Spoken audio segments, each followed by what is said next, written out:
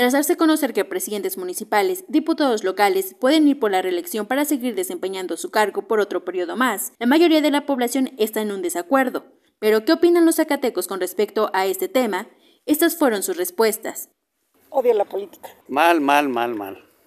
No debe haber reelección, porque se va uno corrompiendo, ¿no?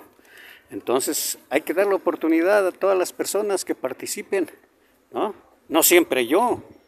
Entonces hay que compartir todo. Pues sí, pero ya no, hay que ver mucho porque ya nos están dejando sin comer.